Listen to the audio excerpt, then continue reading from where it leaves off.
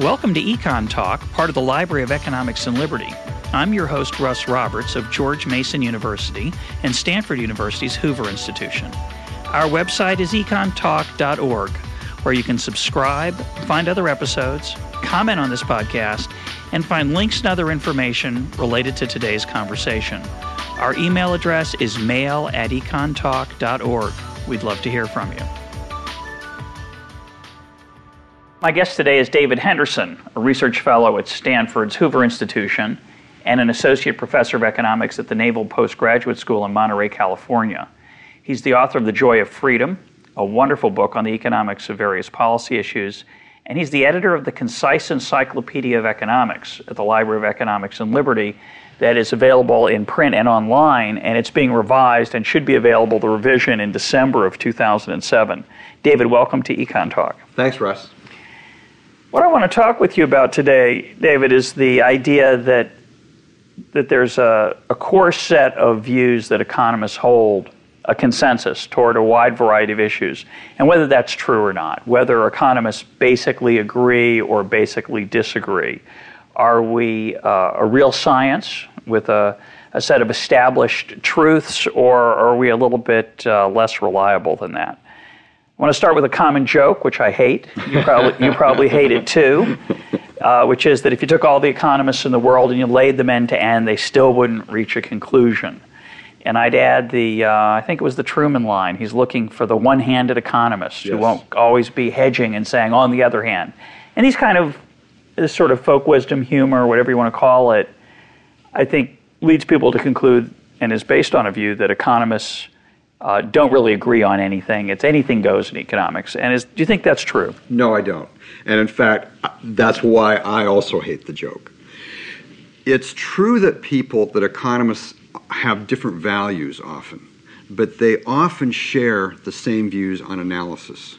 So, for example, on rent control, the vast majority of economists agree that if you keep rents down by law, You'll have a shortage of apartments. It'll be hard for people to find apartments.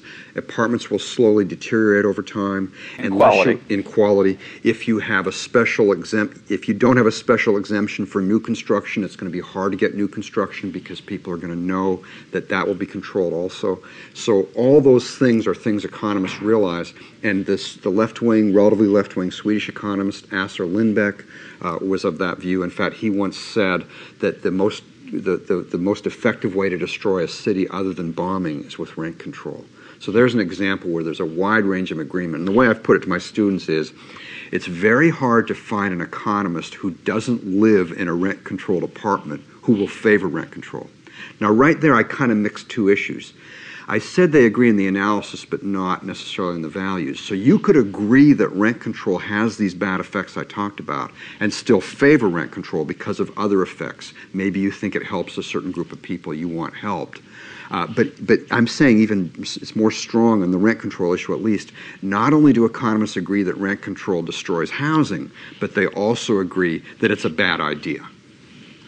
So, where does the view come from that there's all this disagreement in economics and that economists are, are not real scientists? From two area, two, two things I think.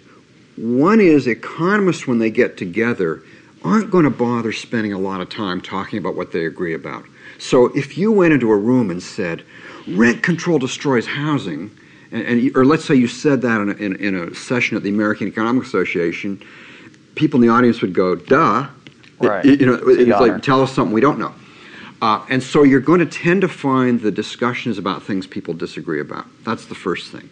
The second thing is most of what people think they know about economics, they get from the media. And let's say you're a trained reporter, but you haven't really taken much economics, or if you did, you thought it was about a bunch of charts and graphs and something called perfect competition, and that was it. So this media reporter is supposed to do this story on free trade so he gets an economist who says, yes, free trade is a good idea. Well, he wants balance. So if John Culbertson of the University of Wisconsin is out that day, he's not going to find balance. That's the main economist I know of. He died a couple of years ago, but that was the main economist I knew of who explicitly said free trade was a bad idea. So, what's this reporter going to do for balance? This reporter is going to call up something like the National Association of Manufacturers, the AFL CIO. And even there, it might be find, hard to find an economist who will unambiguously say free trade is bad. And so the person will work his or her way to someone in the organization who will say it's bad. And that's not necessarily hard to find. And then what will the headline be? Economists disagree. But we didn't even have one economist versus another. We had one economist versus essentially a lobbyist. Yeah, that's a good point. I, I think uh, there's another distinction you can make between an academic economist and a think tank economist. Yes. You, you can find academic economists who, who question trade, certainly. They may not be anti free trade, but they question uh, the virtues of free trade, or they might be willing to put on some forms of protectionism. But you're more likely to find those folks in think tanks where they're called economists, they have economics degrees, uh, but they are grinding an axe of one sort or another on either side of the, of the political spectrum. I, I want to come back to trade labor. Let's just stick with this general issue okay. of the source of the disagreement, uh, why, excuse me, the source of the perception that economists don't agree. Don't agree. So you've made a couple of nice examples. Another point I know you've made in the past is the distinction between micro and macro. Yes. Microeconomics and macroeconomics. So a lot of people take one course in college called economics that's macroeconomics, which is about how the overall economy performs. Issues such as interest rates, the business cycle, unemployment, inflation. Those issues fall under macroeconomics, and there there is more disagreement. There is. That's right. And, and, that is a good distinction. That in macro, you're going to find much more disagreement typically than in micro. Issues are much less settled, we're less sure, and so there, there just is more ground.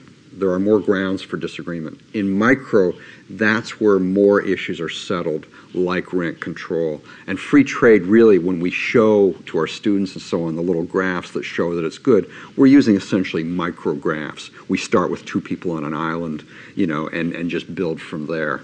And so, yeah, I think the, a lot of the disagreement is in macro. I want to come to, let's stick with macro for a minute because I really hadn't thought about this. Uh, I think that is the general perception that if you do narrow it to micro and macro, a perception in the in the profession, not now. Yes. I'm not talking about among among the general public. In the Right. profession, most economists would say there's a lot more agreement and consensus in micro about the analytics Yes. than there is in macro about the analytics. Having said that, when I think about it a little bit more, I'm not even sure that's true. Um, w- when I was in graduate school uh, in the late 70s, we were close to a consensus on what causes inflation, and I'd say we're at that consensus now. That, that is true. Uh, and before that, there was, when I was an undergraduate, there were these different theories of inflation. There was cost push and demand pull and labor unions. And Milton Friedman, uh, as we talked about in an earlier podcast, uh, Milton Friedman said no, inflation is everywhere and always a monetary phenomenon. Yes. That is, too much money chasing too few goods Yes. is what causes steady and regular increases in the price level. That debate's pretty much over. You're right. That that is a good example of where the disagreement is narrowed substantially. And related to that, if you tra- one way to track the way the profession has moved is to see the way Paul Samuelson's textbook has moved. And I uh-huh. did this in an article once in Fortune magazine where I pointed out what he said about monetary policy in the early 50s, completely ineffective. And as Milton Friedman gained influence in the economics profession, Samuelson's textbook changed on that to where by the 1980s he was saying fiscal policy is relatively ineffective, monetary policy is much more potent. Now, the, the risk of, of this analysis is that we're looking at a cycle and we're immersed in one piece of it. and Yeah, this is, a, this is an intellectual fad, monetarism. I don't think it is in this case, but if we looked at the other issues uh, that, that macroeconomists focus on, I think the one that where there's the most disagreement is you know, what causes business cycles? Why doesn't the economy grow steadily and at an even pace? And I think there, uh, economists are trying to explain something that's quite complex. It is disturbing that we haven't made more progress, really. Right, right. Uh, but in the case of inflation, I think you know the data have spoken. People put forth theories. They were tested by the data, and in a truly scientific way, one theory emerged that was more consistent with the data, and, and will stay that way, I think, until something more fundamental changes about the economy. That's right. In the area of the business cycle uh, research, I think we haven't reached as much of a consensus. Maybe we will. Maybe we won't. Maybe, maybe it's too complex. But I think um, another area where where there's more of a consensus emerging in macro than, than you might think is growth. I think there's a lot better understanding of what causes growth today than we had 50 or 30 years ago. And we're, we're, we're not very good at what causes development, yeah. what causes nations to escape poverty, but why rich nations get richer. We have a pretty good understanding of, I think, about the role of technology and innovation, whereas uh, in the past that wasn't as well understood. Do you think, that's, do you think that's true? I think that's true, although I'm not as certain of that as you are, and I'll tell you why. I was actually yeah. putting together the latest edition of the encyclopedia. I wanted to find someone who would do a good article on the economics of growth, the empirics of growth, how, what causes it, and I thought it was going to be straightforward. And as I just as I explored the literature, I found people all over the map. And I had a, an economist named Kevin Grier, whom Tyler Cowen recommended to me, do it. And his was it was just his best honest attempt to say, what do we know and what do we not know?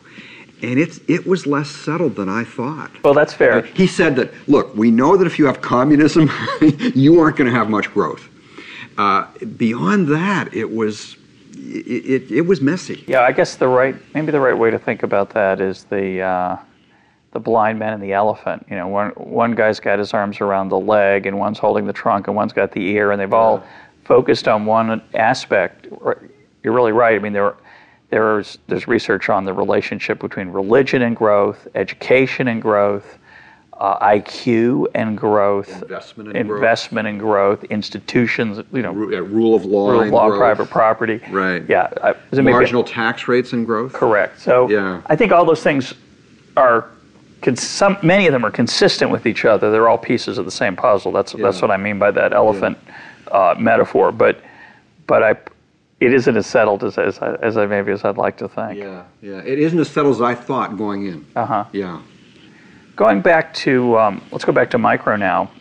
Uh, let me challenge your view that micro is pretty settled, or, or the view that, that I implied as well. And I want to take a couple of issues, either in micro or in the what we might call the interface between micro and macro, that I think used to be pretty much settled. There was a consensus. Um, you picked rent control. Yes. Rent control is an issue that politically has fallen out of fashion in most places. You don't hear a large demand uh, for uh, rent control. And a similar example would be price controls generally. I think one of the successes of economics of the last 50 years has been to highlight the dangers of, of price controls for the economy wide price controls as a way to say stop inflation. Yeah. And so when we get we get inflationary pressures, or when we get an individual price spike, like gasoline, like gasoline, it's it's fascinating to me how small the demand is politically for. You hear it, yes, for price controls. You hear it, but it doesn't have the traction it had 25 years ago, and one and they re- aren't finding economists who will support it. Say again. Well, you're talking about how the public and how politicians view price controls, which shifts it a little off topic because mm-hmm. we were starting to talk about how economists Correct. think of them, and economists won't typically defend them. But on the other hand, 30 years ago, economists weren't defending price controls in gasoline either. What's really shifted is the public exactly. seems to have learned something, and that's tremendous. To me, that's at least two cheers for economists for well, getting that message across. I used to feel that way, and then in the podcast with Milton, he, he suggested that most of the changes in those attitudes is because people learned from experience that they didn't work very yeah, well. That's, that's and then when another generation comes along that hasn't had the bad experience, maybe the demand will, will re, be rekindled. Yeah. But the reason I made that, it was, it was a little confusing. The reason I made that contrast between economist perception and the public's perception is that it, it's a little easier to find areas where economists have a consensus when there's no political demand coming from the general public. Uh, so let's take the minimum wage. The minimum wage, very, just a, it's just a different form of price control. It's like right. rent control. It's like a gasoline price control. The, the analytics of it should be the same. You'd think most economists would be against it, and historically, they have been. Yes. Historically, there was an overwhelming consensus by economists that minimum wages were a bad way to fight poverty. Yes. But that seems to be weakening. It you is think? weakening. Now, it's weakening. But let me just point out there's still a consensus if you look at the, the polling data. Uh, let me just mention there was a poll done in the 70s, uh, and this, the statement was a minimum wage increases employment among young and unskilled workers. Unemployment or employment? I- I- increases unemployment, I'm Uh-huh. sorry. And 90% of economists agreed. When the poll was done in 92, um, 79% agreed. And when it was done in 2000, 74% agreed. So as you say, it's weakening, but 74% is still really high, especially when you compare it with what the public would think. I think a poll like that, and I would bet Bryan Caplan has one in his book, uh, his recent book, a poll like that would probably find that 80% of the of the uh, public probably thinks a minimum wage is a good idea and doesn't have any effect on unemployment. But that that question didn't ask whether the minimum wage was a good idea. It asked right, whether It increases unemployment. increases unemployment, which is to say, it asks whether demand curves slope downward or or, or whether they're vertical. Right. Uh, Does so- the price increase cause the quantity demanded to fall? Right. Right. And 26% of the profession, I'm, not, I'm not sure how that poll defined an economist, Yeah. right? I don't know if that was a random sample of every academic economist, every working economist, whether they're in co- the corporate or the union sector. But it's kind of shocking that we've Yeah. now reached a point where 26% of the people polled thinks that it has no effect. As you pointed out, it could have an effect and you could it could cause unemployment. Right. But you could still be in favor of a minimum wage Right. because you think that the gains to the people who keep their jobs are so large and so many of those folks are out there compared to the small effects on unemployment. But th- those folks would say there's not even a cost of any kind. Yeah, Right? yeah. Well, maybe. I think the question is asked badly, by the way. That's one of my pet beefs because agree. increases unemployment is different from decreases employment. Very good point. To be counted as unemployed, you have to be out of work and looking for work. So let's say some poor, unskilled teenager loses his job because of minimum wage. He might actually get the message there's no point in looking elsewhere. All those jobs are going to be unavailable because the minimum wage is higher. I'm not saying he thinks of it that clearly, but he might pull out, go back to school, get into the illegal sector, live with his parents, do any number of things, and he won't be counted as unemployed. And and so maybe there's some sophistic. Maybe among those 26 percent, half of them had that thought. You know, I don't know. No, that's a very good point. Yes. I think that's a very good point. So let, let me sharpen Okay. m- my, my challenge a little bit. Uh, maybe, I guess, six months ago or eight months ago, a petition came out in support of raising the minimum wage, Yes. signed by, I think, over 500 economists, Including Bob Solow, a including Nobel Prize, a, Nobel, a Nobel Prize winner. I think there were two or three Nobel There Prize were. winners on the list. What do you think explains that? I I read Dan Klein in, in Economic Journal Watch did an article on it, and I, I read that, and I just I think probing the article probed Pro- trying probed to, why. as trying to get why what what was the source of their Yes, he, he actually Approval. contacted all those people and asked them, and gave them a survey, asked them questions, and many of them cooperated. And to me, and I must say, the biggest disappointment on that list was Bob Solow, who I've always thought of as a, a quite a good economist. I think ideology trumped economic thinking.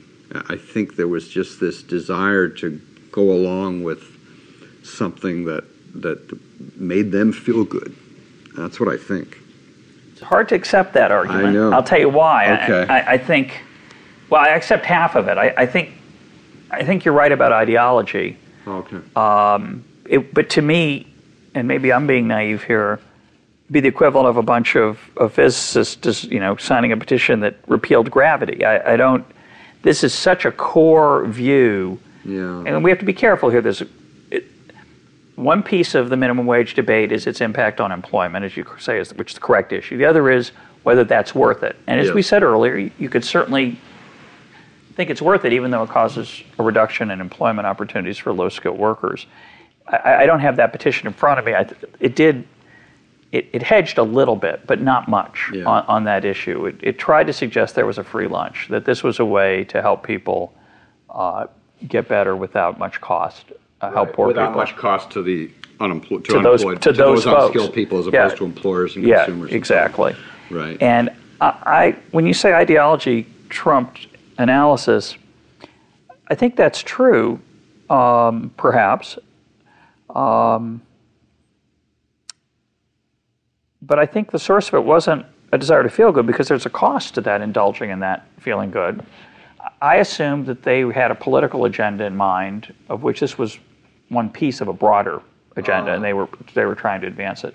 Because I think analytically, some of them would say, well, you know, uh, their justification would be, well, you know, there, there was a study by Card and Krueger Right. that showed that uh, the minimum wage actually increases employment, doesn't reduce it. Yeah. Now, that's one study out of about a few hundred, Couple hundred, right. that have all found the opposite effect. I didn't find the study persuasive methodologically, but maybe that's my ideology. And um, it, it, but it was a strange thing. It was. Now, so when you say the political agenda, what would be the political agenda be that that would My worry- yeah. and, and I'm going to go. Um, this viewpoint makes me very uncomfortable, but let me put it on the table. My worry is that is that ideology plays a much more active role in economics than we normally accept as economists. As economists, we like the idea that we're scientists. Right. We don't like the idea that we're ideologues whose views respond to our personal prejudices or philosophies. Maybe that's not true. M- maybe economists uh, are not very scientific in many aspects, and ideology will trump analysis in many situations. That's my worry. And that the real debate in economics isn't about the elasticity of the demand for labor, that is, how responsive it is to changes in prices, but rather it is uh, between should the government get more involved or less involved. And you and I happen to be on the side of the government should be less involved than it is now. Right. Government's much more involved now than it was in the economy than it was 25 or 50 years ago in many dimensions. And yet, there are many people who think it's not involved enough, strangely enough. Yeah. And many of those folks are economists. Uh, they're out there uh, playing roles as both uh, scientists, that is, they write research articles, but they're also out politically actively working with, with politicians and with uh, trying to change legislation and other ways to change the role of government. Uh, I worry about what role that plays in our assessing of, of policy. Well, I guess I don't disagree. In other words, I think that, that it's, it does play a role, and I think, as you say, it plays a role on both sides. Um, I think, I'll just put this on the table. I think I'm, even though I'm a very, very extreme libertarian, I think I'm actually better at keeping those separate than many other libertarians, and I think I'm definitely better than, than many liberal left economists. And I think part of it is, you know, maybe it's just my conscience or something, but part of it is the incentives. Because I'm in a minority, I have to be very careful about this because there are so many people who will jump on me Correct. if I say something I can't justify. Just a minute ago, you said you referred to liberal left economists. Yes. Now, I've been called, and I assume you have been called also a conservative economist. Yes. I hate that I do too. because it implies that I'm biased. Um, I'm not a conservative either. That's a separate problem. right. But uh, but then the, the sort of the subversion of that, the the other version of that is, oh, he's a free market economist. Of course he thinks that way, as if it's Yeah. a matter of religious belief. Yeah, yeah, and and yeah, I don't I don't like that either. I mean, I, I I've kind of given up on that. I used to try to tell people, look, I'm an economist, and I believe in the free market. Not I'm a free market economist. Mm-hmm. And one of the examples I used to point out was the guy who really nailed intellectually and, and, and in a scholarly way the case for free trade, I think, in the 20th century was Paul Samuelson, who's, uh, you know, this liberal and an economist, but he was, you know, really, he just laid out just the various cases for free trade very, very well. And so, you know, would you call Paul Samuelson a free market economist by their by the standards of people? Even my friends who call me that, no. And yet here he is laying out this case, this strong case for free trade. and much of his work and the work of other uh, mathematical economists who have tended to find mistakes, so-called market failures, so-called uh, cases for gov- justifications for government regulation. They have uh, frequently also laid out the intellectual framework for why markets work very well. Yes. So, uh, uh, so I, it, it is a it's an excellent point about Samuelson. He is a free market economist. Yeah. Politically, his he's to the left of of, of some, uh, and it would probably identify himself politically as a liberal. Yes. But uh, he is a free market economist. Right. Yeah. Right. And so, um, I mean, what we're getting here is we're, we're, we're kind of peeling the onion away, the layers, and we're getting, uh, uh, I think, to some very difficult issues. I mean, I started by saying I think economists agree on a lot of things. I don't think anything we've said has taken me away from that. But it is true that there's less agreement than I think there should be. Because, for the reason you said, how much does it take to understand that when the price of something goes up, the quantity demanded goes down? The minimum wage is a price. When it goes up, the quantity demanded will go down. How could someone disagree with that? Someone could say it's a very small effect, but a small effect is still an effect. And so, you know, I am a little puzzled, which is why I like when I'm in those situations to really grill people one on one and not in an unpleasant way, but in a pushy way to try to narrow down. Now, why do you think that? And where do we disagree? Yeah, yeah. Well, let's talk about trade, which Yes. is another issue that that I think historically there's been an enormous amount of consensus uh, or agreement. There still is, but I'd argue again that it has weakened. Um, do you think that's correct? Well, let me give you the data on that. That same survey I mentioned in the 70s found that 97% of economists surveyed, this was 211 economists, agreed that tariffs and import quotas reduce general economic welfare. By 1992, that was down to 92%. From 97 From, percent. Uh, so it went from from 97 to 92 percent. And in the 2000 survey, it bleeped up to about 93%. Uh-huh. So that's pretty much remained constant, which is very, I mean, I'm, I'm glad about that. And, uh, and again, you'd still want to know what were those 7% thinking? I, I don't know. But still, that's, That's a pretty strong number. So that that's a strong number. over 90% of economists surveyed over the last three different times over the last 25 years, 30 years, said uh, tariffs and quotas are bad. Yes. They're not good policy. I guess the uh, I guess some of the movement on this issue has been on the effects of trade. Whether we should intervene or not remains unpopular among economists. Interve- intervention remains unpopular, but but the welfare effects of trade maybe have gotten uh, a little less um, cheerful among economists. So, an example being that I would give would be Alan Blinder. Alan Blinder's recent article worrying, and we discussed this briefly with uh, Ed Leamer in a, in podcast a couple weeks ago.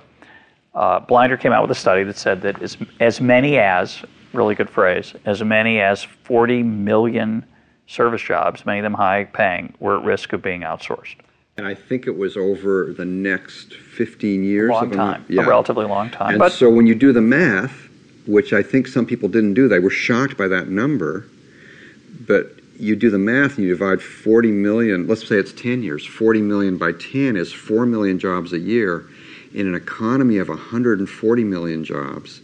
So, in other words, 3% of jobs a year. Also, in an economy where roughly 20% of jobs disappear every year, but they're replaced by other jobs. Yeah. And so you don't, it's not a huge, it was presented as a huge number, but it's not really a huge number. Well, I think the mental experiment people did is they said, well, if we have 140 million jobs, in 10 years we're going to have 100 million. Right. right In other words, they aren't replaced They're by not going to be replaced by anything. Yeah, Uh, and one and Blinder is famous. In fact, in my encyclopedia, he wrote the piece on free trade.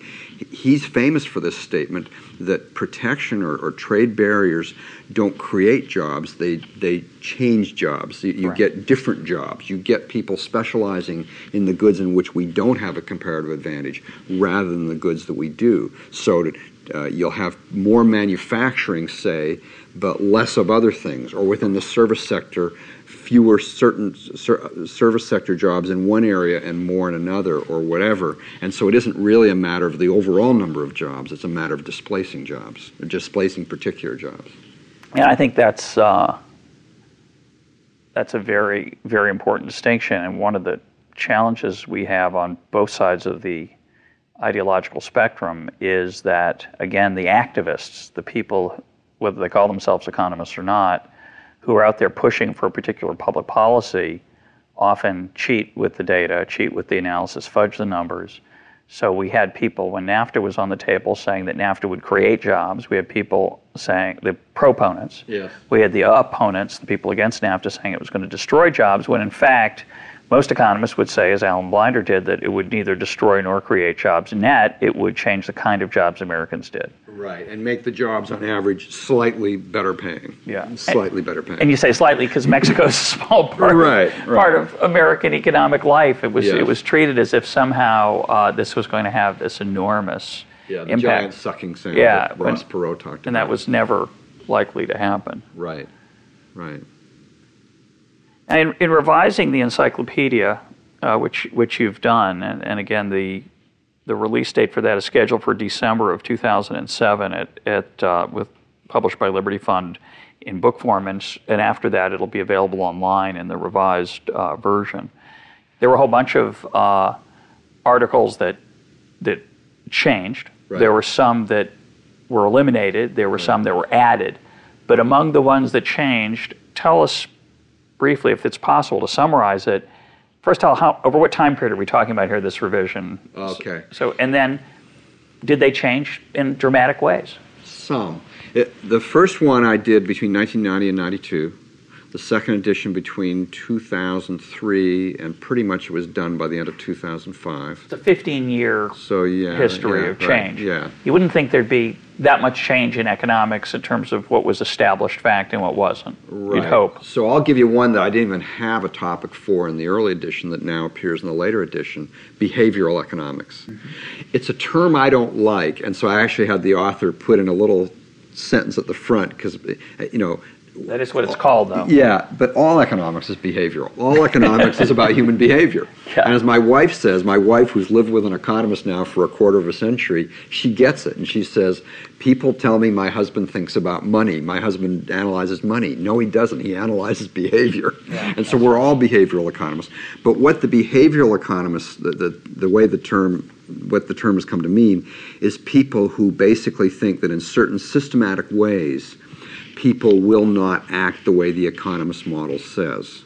And so, for example, um, if you, the standard economist would say that if you give employees an option of how to invest their 401k, uh, they'll choose whatever they'll choose. If you instead chose for them and made it very low cost for them to change to something else, they would still stick with what they're given.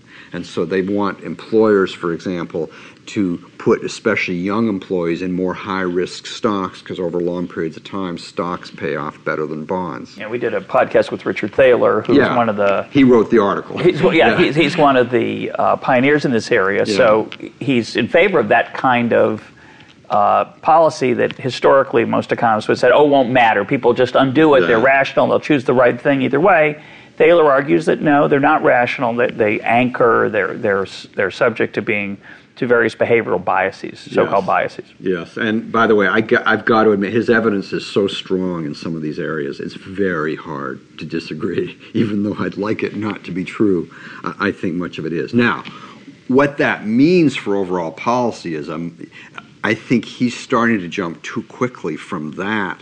And, and I guess uh, did he do something with Cass Sunstein on this? Yes, on, he did. Yeah, libertarian paternalism Yes, or something. correct. And it's not that was- libertarian. Yeah, that was the sort. Of, we, that was the topic of the podcast. And Yeah. Ed Glaeser, we also did a podcast with Ed, who's a big critic of this, says Yeah. it's a bad idea, and as many yeah. uh, so-called libertarians are. Uh, they don't find libertarian paternalism. Uh, uh, they think it's an oxymoron, and Sunstein and Thaler claim it's not. Yes, and there was actually a very good blog back and forth on the Wall Street Journal website on that, which I thought the anti-paternalists won. Um, and so, anyway, the point is, it's it it's very hard to get from their, I think, correct views about the limits of economics in in understanding all behavior.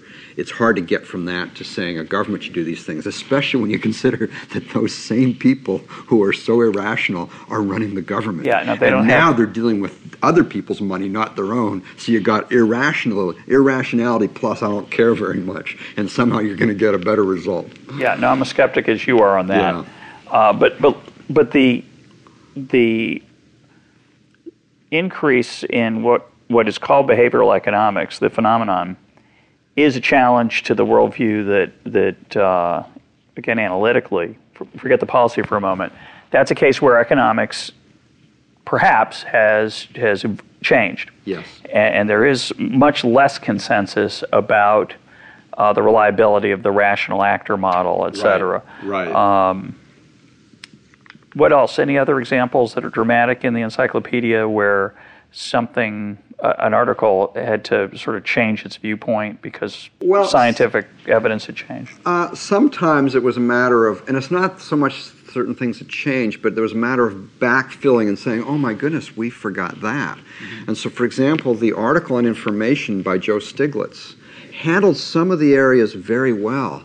But what I had wanted from him and just could never get him to um, was to talk about how prices convey information and the whole idea from Friedrich Hayek that just the power of prices in directing behavior in a socially beneficial way. So I had Don Boudreaux, whom you know very well, have a do a piece on information and prices that just laid this out really beautifully. And that's an interesting silo problem. The people who've done the pioneering work on information in the last 25 years tend to be less interested or feel it's already established this role of prices, the Hayekian role of prices, and uh, they're just not as interested in it, or they don't. They're not as persuaded by it. I don't know which it is. Yeah, yeah. Um, and then some of the others, um, I wish I had thought more about this because I know there are some where I'll just be driving along and I'll think, I am so glad I got that article. It's so much better than what it replaced. And there were probably five to ten of those where there was just a dramatic improvement. It was either Yeah. an author who improved it or, or a different author, you know, um, but, but, but they're not coming to me offhand. But as far as kind of reflecting major changes in thinking of the profession, well, okay, education. There's just been a lot that economists have learned about the economics of education, both K through 12 and, and higher education. So I have a much more compl- I just had an article on public schools in the first one, just on public schools. I didn't do education. So I, this author, Linda Gorman, did the whole education thing and, and just laid out there's just so much evidence now on things like vouchers, does this class size matter, um, all those kinds of things. And so that's it's just loaded with evidence. Yeah, so that's, an a- area. Yeah, that's an area where there's just been more research done. I Yeah. think, and it's it's it's been an area of much greater focus Right, over the last 15 years. right. Um, so you think that an encyclopedia of economics is a meaningful idea? I assume, don't you, I, I do, right. That's why I've invested roughly two years in the early 90s and roughly two years in the early 2000s into that. And let me just tell you a story that it, was the first time I had the thought about an encyclopedia of economics. I was with Martin Feldstein's economist, uh, Council of Economic Advisors. And I was I came on board, Which, is, which was roughly when? which was 82 to 84. Okay. I came in two weeks before he came in. He inherited me from Murray Weidenbaum, who'd actually hired me. But then Marty renewed me for a year because he liked my work in 83. So I was there two years. My first year, two of my colleagues whom Marty brought in were Larry Summers, Lawrence Summers, and Paul Krugman. And sometimes, not often, but sometimes the economists would go for lunch and mix it up a little on the issues. So you'd have people like Ben Zycher, Lincoln Anderson, and me, who were all very strong believers in free market and less government. And you'd have Larry Summers, who wanted more of an active role for government, and Paul Krugman, who wanted, I think, even more of an active role. But when we would actually talk about the issues, what was really striking was what we didn't disagree on. You know, things like free trade, things like price controls. Larry actually trimmed around the edges on natural gas, but never, I don't even, I'm not even sure he convinced himself. I think he might have been playing devil's advocate uh, because people were talking about eliminating natural gas price controls then, and in fact they did, and, and we had good results from that. And so I remember after about the th- third of these lunches, I thought, you know what, this is more of a science than I had thought. And it harkened back to when I went into the Council of Economic Advisors as a summer intern in 73 under Herb Stein. And Sam Peltzman was one of the people who recommended me for the job. He was a professor of mine at UCLA. And be, just before I applied for that position, we were in an industrial organization class. Sam was teaching at UCLA. And I was all excited about this economist statement I'd read against natural gas price controls. And I said to set it to Sam, and Sam said, ah, big deal. 95% of economists oppose price controls on natural gas. And I thought, they do? I mean, this would, and I think Sam overstated, but Sam was getting at a real point. Which Uh-huh. is there is all this agreement. He said, Dave, when you get David, when you get to the Council of Economic Advisors, when you get a chance, go through some old memos from the Johnson administration where you have senior economists writing these things. And I, it was hard to get access to that, but to the extent I did, I found that what he was saying was true. If you'd asked a, an economist in the Johnson administration, should we get rid of natural gas price controls? The answer absolutely would have been yes. And here's the other thing. Eh, here's what I want. The point I want to make is that when economists get into positions where they really need to focus on on the on the on the real issue at hand, whereas the old cliche goes, the rubber meets the road. I mean, okay, I've said all these things for ideological reasons or whatever, but I've got a chance to push this little button that changes the probability one way or the other of this of a particular policy. Which button do I push? They tend to push the button that says let's deregulate, let's not regulate more, etc.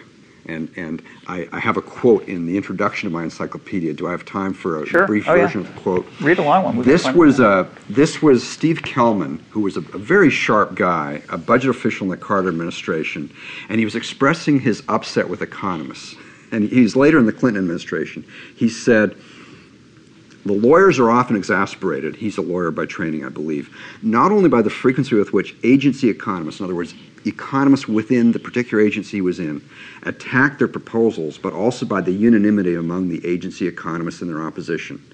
The lawyers tend to incorrectly attribute this opposition to failure to hire, quote, a broad enough spectrum, unquote, of economists, and to beg the economists, if they can't support the lawyers' proposals, at least to give them, quote, the best economic arguments, unquote, in favor of them.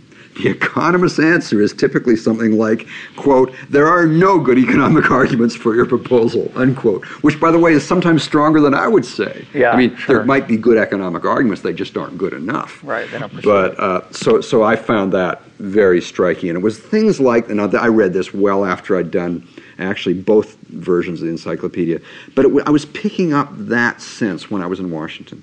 And then one much earlier story. David Friedman once told me this story. He was talking about his father. And his father, Paul Douglas, who was a liberal senator from Illinois, who used to be on the faculty of University, University of Chicago, he was a colleague of Milton's. They I barely overlapped before he became a senator. He's famous for the Cobb Douglas function as his Yes. his most famous contribution to economics literature, which is a way of modeling the relationship between capital, labor, and output. Right. And and so he Then he was became a senator. Yeah, he became a senator from Illinois. Very liberal senator, voted very liberal. Um, he was in. I think he might have been head of the Joint Economic Committee, the Senate person who's, who's has that position. And Milton Friedman would come to Washington to testify before the Joint Economic Committee. And David told me what would typically happen is you'd have various other people testifying and you'd have various senators talking. And within a few minutes, it was just this dialogue between Paul Douglas and Milton Friedman. They were agreeing that everything those other people were saying made no sense. And, and, the way Milton once put it is, you, you start a, you have a room full of econom, uh, full of non-economists and economists of various ideological stripes, and what you will find very quickly is on a particular issue about the effects of something, not about whether you should do something, but about the effects of something, you will typically find all the economists lined up on one side and all the non-economists on the other. And I see this with so-called conservatives who, when when someone will say, "Hey, let's reduce the amount of carbon usage by having a tax on carbon," and the the non-economist conservative will sometimes say, "Oh, that'll have no effect." People will drive the same amount. People will use the same amount of fuel. And every economist I know, no matter whether he thinks the carbon tax is a good or bad idea, agrees that it will reduce the amount used. Right. Yeah, that's. Um, th- there's the one case I think where where behavioral economics has not made much of an inroad. Yes. Y- It, the recent run up over the last year or so of gas prices drives me nuts because people say, yeah, well, when it hits four dollars, that's when people will start driving less. And what what they misunderstand is that part of the reason the price is going up is that demand is increasing. So you're going to see a positive association between prices and driving. It's the increase in driving that's pushing up the prices. That doesn't refute the law of demand. Uh, And yet, in, in the public's mind and in the pundits' minds, uh, you often read that you know, people just keep driving, no matter what the price, as if a tax, say, on gasoline Yes. exogenous imposed on the outside would reduce the amount of driving. It would. It might not reduce it a lot. It might not reduce it reduce it by the same percentage change as the price change. But there you're right. There's an overwhelming agreement, I think, in most cases. The minimum wage is slightly different, maybe, but in most cases that people do respond to incentives. And everyone, pretty much all economists agree that if the tax, say, remains in place a long time, people respond even more. Yeah, so now I'm not going to go out and buy. A, well, actually, I have a Honda Civic, but but if I had an SUV and there's a tax and it's a temporary tax, I'm going to respond appropriately. If it's a long-term tax, the next time it comes to replace my vehicle, I'm going to get a different vehicle. And by the way, it might somewhat speed up the, the speed at which I replace the vehicle. Right, exactly. Well, I think that's a cheerful note to end on, but I- I'm not going to end on that cheerful note. I want to raise one more issue Okay. of, of disagreement potentially between us on this consensus. I think this would be easy to prove. I, I don't have any explicit numbers to prove it, but I think it'd be easy to prove that uh, economists have have more opportunities in the marketplace than they had 25 years ago. There are more ways for economists to make money using economics, and the returns to being an economist are higher. Uh, I know the returns to a PhD are higher in America than they were 25 years ago, and, I, and I'm, I'm very confident that economics PhDs have, have done very well economically. They haven't just done well economically. It isn't just that college professors with a PhD in economics make more than they did 25, 30 years ago. The range of stuff you can do for money as an economist has expanded. There are more think tanks there are more media outlets. There, are more economists writing now than ever before. Some of us are writing f- for free, or close to free, uh, or at least no explicit monetary payment in the blogosphere. Uh, others are writing columns for the New York Times or the Washington Post, or they're on the nightly news doing commentary or on NPR. Economists, I would argue today, have more opportunities to run their mouth than their pen and their keyboard than they had 25 years ago, and they pay better. And I would argue that that has changed our willingness to use data honestly. I would argue that's created some unhealthy incentives for people to um, segregate themselves by, say, ideology and hold views that are perhaps not as, as scientific as we held in the past. My favorite example is that Paul Krugman in the Sunday New York Times Magazine uh, wrote an article saying that if we took money away from the rich and gave it to the poor, the poor would have more and the rich would have less. It's simple arithmetic, uh, implying that the world is a zero sum game, yes. uh, which is to me a, a, the zero sum game view of the world uh, that everyone's gain must come at someone's expense is perhaps the, biggest fallacy that prevents economic understanding. Here is a Ivy League economist coming out in the most prestigious media outlet uh, that there is saying that wealth is a zero sum game. so I thought uh, that was a wake up call for me that something yeah. had changed. Yeah. And I think we see that kind of thing in print and in coming out of think tanks. Uh, not only that you and I work for, of course, uh, but but uh, I hope, but but that's a real problem, I think, in the profession. I, I do. I think when I was wondering who's your example going to be, and, and I think you gave the very best example. The way I put it is that when Paul Krugman started writing for the New York Times, when, when he used to write for things like Slate and other things, I'd read most of his articles, and I found myself informed in a positive way at least 70% of the time. Now it's, I used to say it's under 20.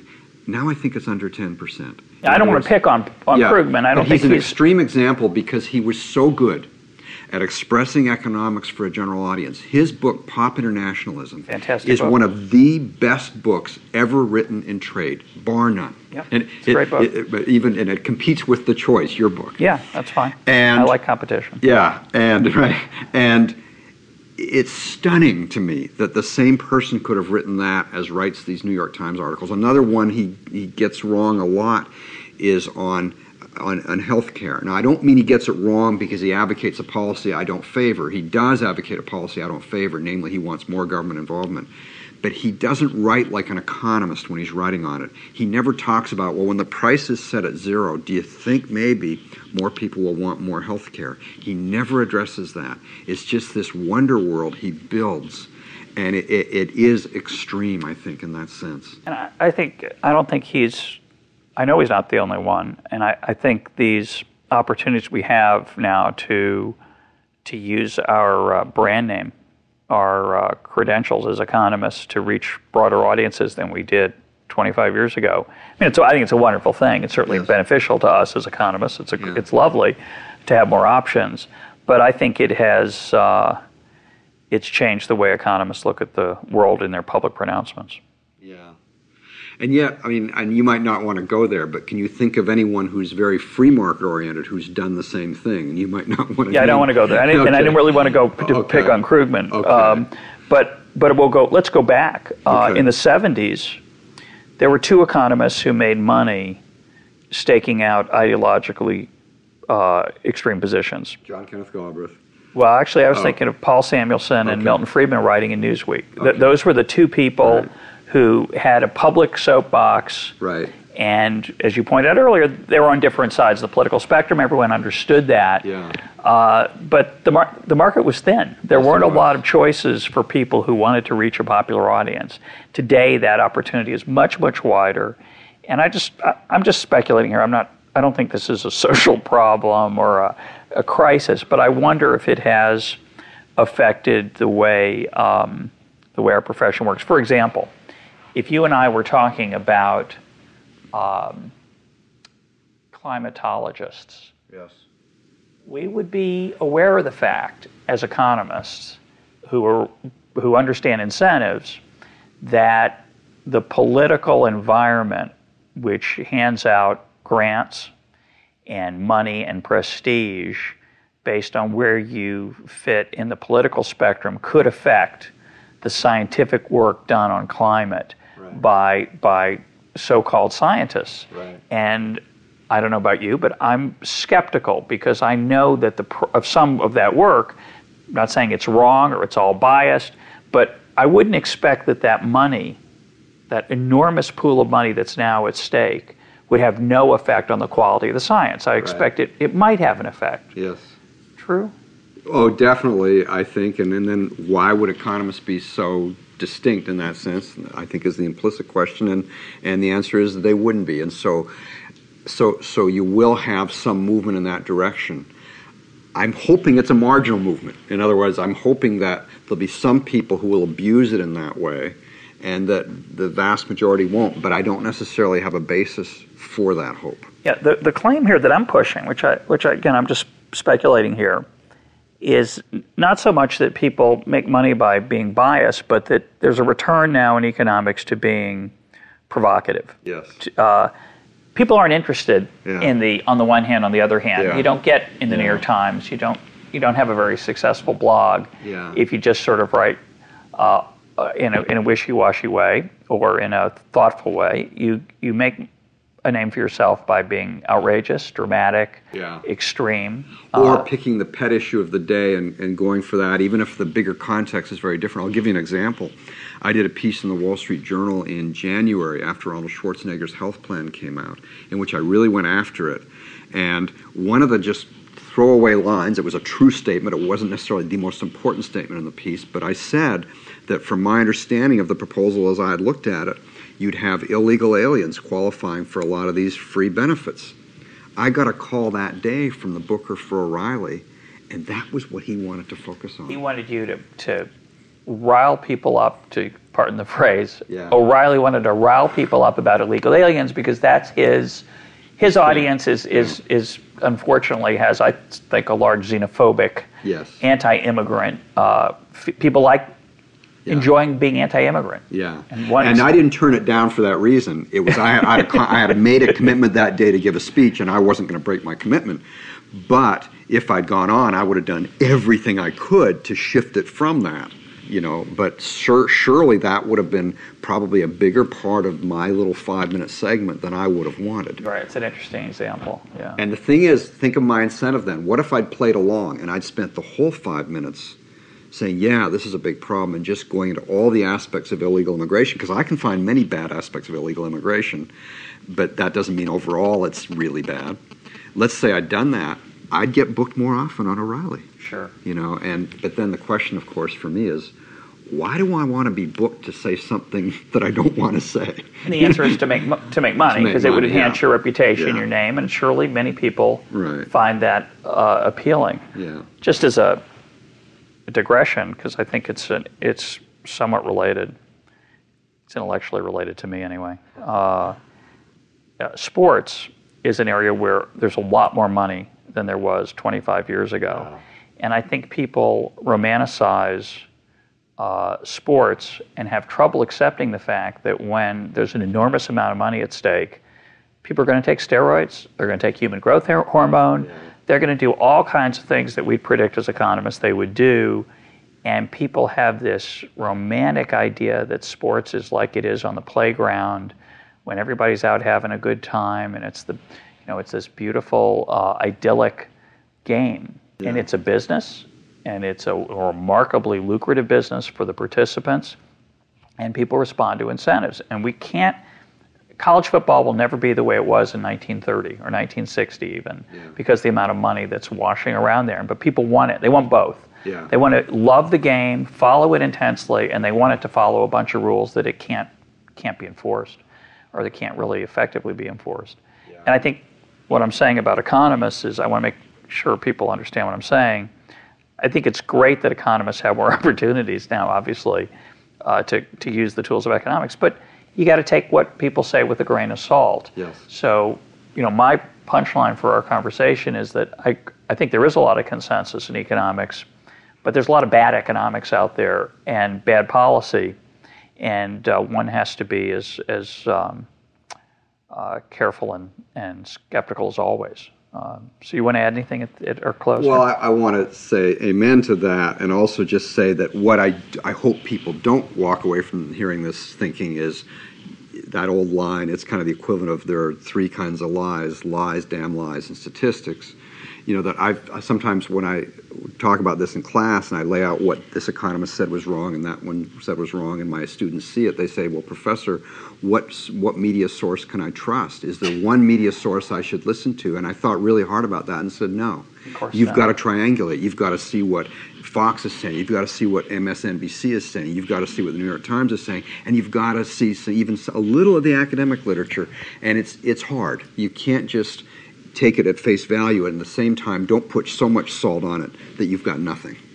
Yeah, I mean, journalists that I've talked to are the same way. They want to know who are the good economists, who are the true, who are the truth tellers, and the answer is there's no simple answer. You, you can't. Yeah. What's the what's the right assessment of you name it, healthcare, minimum wage, uh, trade issues? And the answer is you got to pick and choose. Like you say, you, you, you got to use your own head. Yeah. You can't just follow what one person says must always be true because it's not necessarily the case. That's right.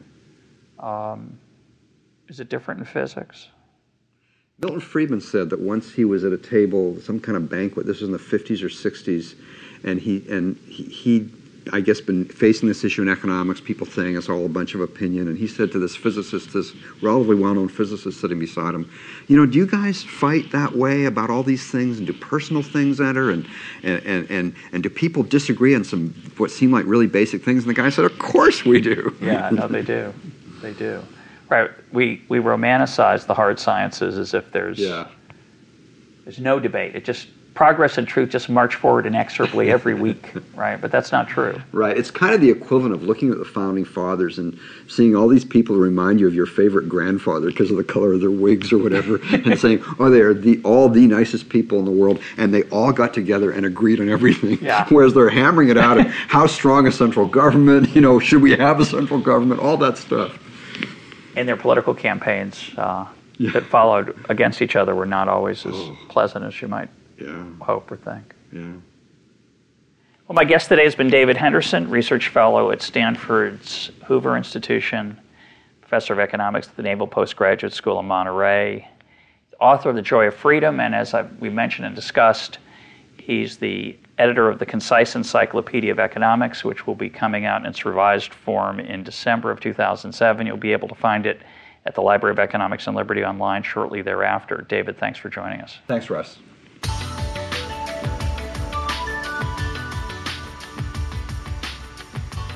This is Econ Talk, part of the Library of Economics and Liberty. For more Econ Talk, go to econtalk.org, where you can also comment on today's podcast and find links and readings related to today's conversation. The sound engineer for Econ Talk is Rich Goyette. I'm your host, Russ Roberts. Thanks for listening. Talk to you on Monday.